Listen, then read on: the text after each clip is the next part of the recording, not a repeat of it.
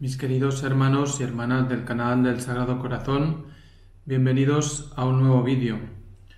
Y ha habido una serie de vídeos, nueve vídeos, en que había pues una meditación sobre las letanías. Es muy importante, las letanías al corazón de Jesús, que prácticamente hacemos cada día en los directos de este canal. ¿eh? Si no has venido todavía a un directo, estás invitado. Es cada día de lunes a viernes a las nueve hora de España. Dicho esto, te pido también que te suscribas si no estás suscrito, que te hagas miembro del canal si te gusta este canal, si quieres apoyar al canal, pues abajo al lado del botón de suscribirse tienes otro botón que pone unirse, hacerse miembro, no sé qué, dirá en cada país, pero eh, aquí en España pone unirse. Entonces yo te invito a que te puedas unir al canal eh, y puedas hacer una ofrenda para ayudar al canal. Vamos a hacer una reflexión acerca del versículo del Evangelio en el cual Jesús en Getsemaní le pide a sus discípulos que recen y les dice, orad para que no entréis en tentación. Es muy importante meditar la, palabra porque la palabra nos habla a nosotros mismos y a cada uno nos dice una cosa diferente. Cada momento de nuestra vida la palabra viene a ser auxilio para nuestra vida. A mí este versículo ayer, durante el directo, lo estuve comentando y fue para mí una luz muy grande el darme cuenta de algo que no había mm, no había llegado a esta conclusión hasta, hasta el día de, ayer, durante el directo.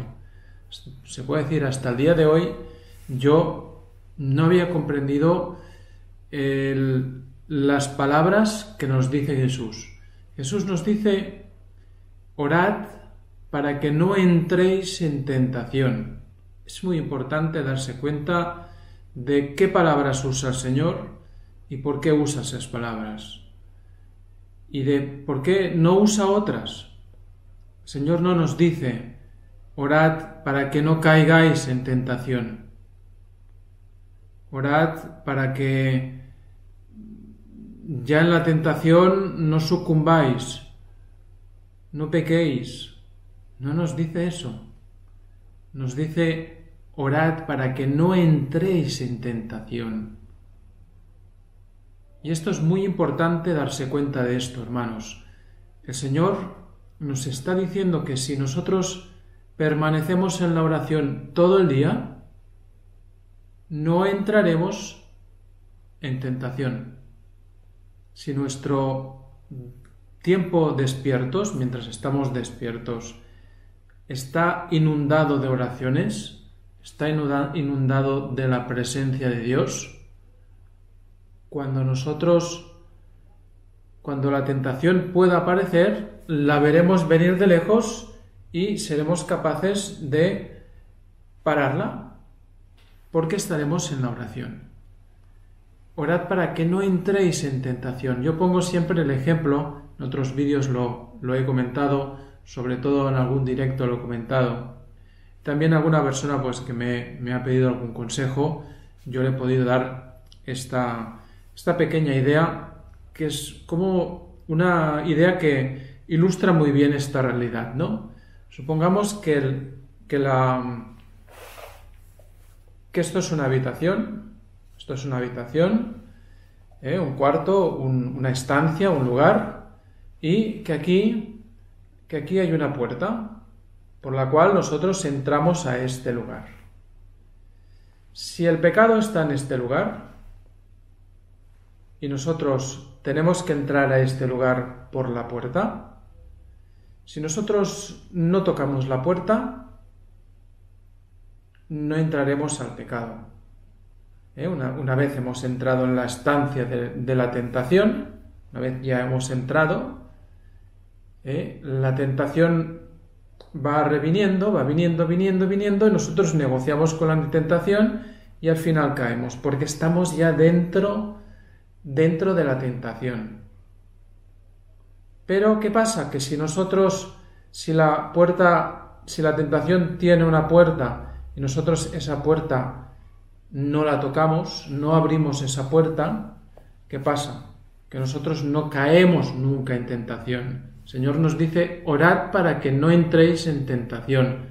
No entramos en tentación si nosotros permanecemos en la oración. No entramos a esa estancia, ese lugar donde está el pecado, si nosotros no entramos por esa puerta. Muy al contrario, si nosotros entramos, ya estamos en la tentación y tarde o temprano caeremos. No entrar en tentación. El Señor nos regala un tesoro en este versículo para todos aquellos que quieran escuchar, que quieran abrir su corazón a este mensaje de Jesús,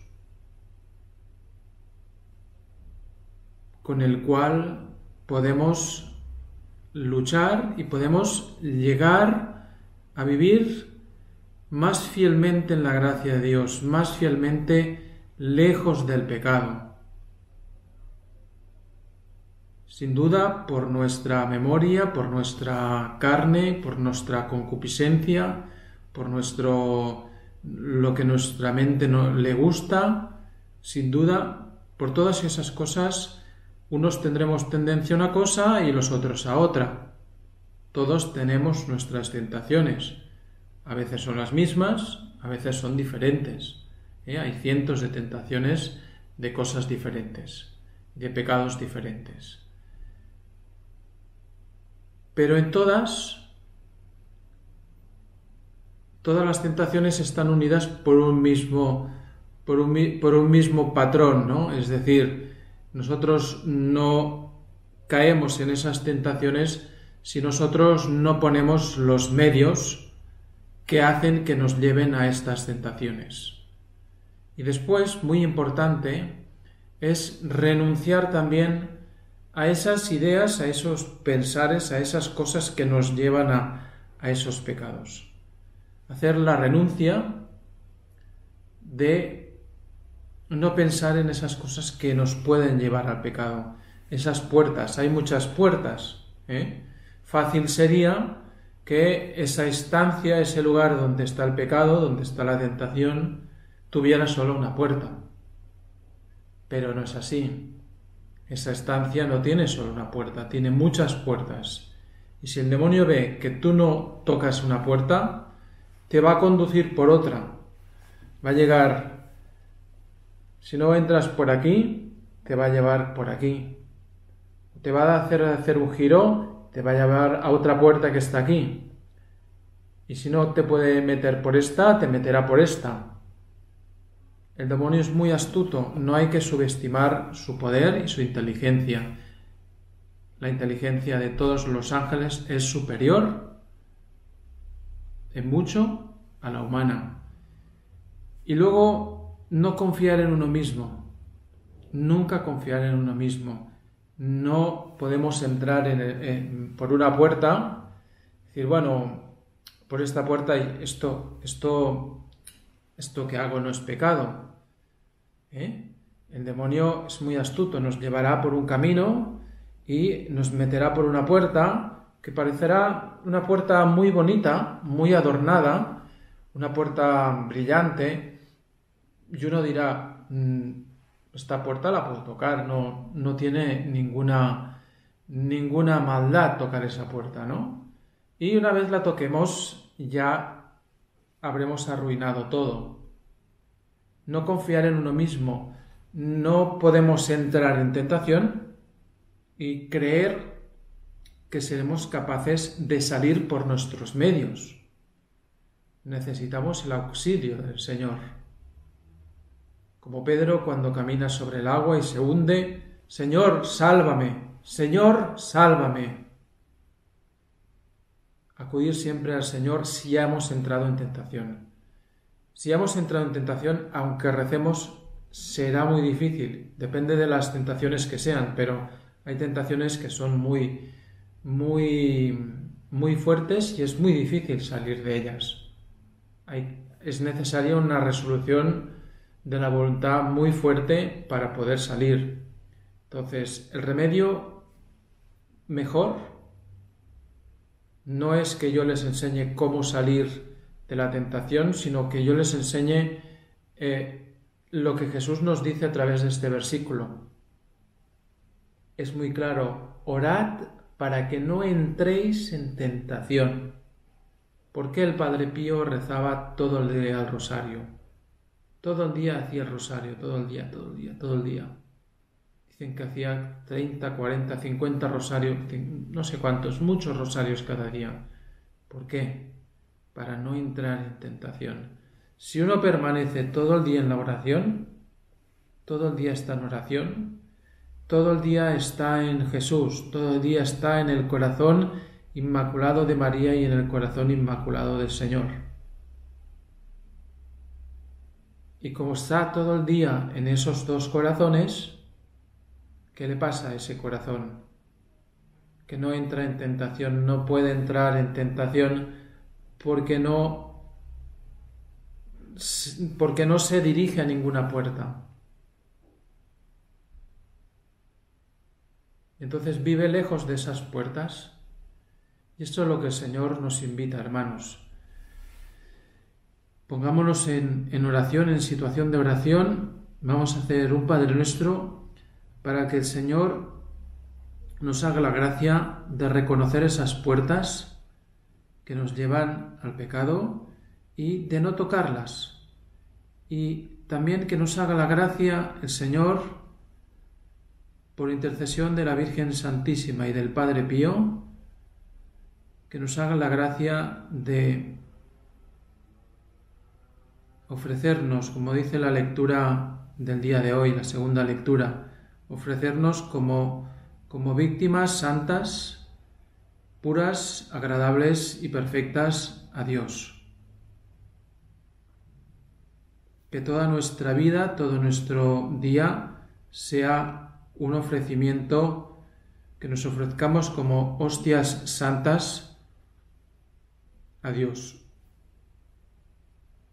Un Padre nuestro para que el Señor nos haga la gracia de no entrar en, en tentación, de permanecer todo el día en oración. Padre nuestro que estás en el cielo, santificado sea tu nombre, venga a nosotros tu reino, hágase tu voluntad en la tierra como en el cielo. Danos hoy nuestro pan de cada día Perdona nuestras ofensas como también nosotros perdonamos a los que nos ofenden. No nos dejes caer en la tentación y líbranos del mal. Amén. Dios te salve María, llena eres de gracia, el Señor es contigo. Bendita tú eres entre todas las mujeres y bendito es el fruto de tu vientre Jesús. Santa María, Madre de Dios, ruega por nosotros pecadores, ahora y en la hora de nuestra muerte. Amén. Gloria al Padre, al Hijo y al Espíritu Santo, como era en un principio, ahora y siempre, por los siglos de los siglos. Amén. Corazón Inmaculado de María, ruega por nosotros. Sagrado Corazón de Jesús, en vos confío. Padre Pío, ruega por nosotros por las personas que verán este vídeo y por todos los suscriptores de este canal.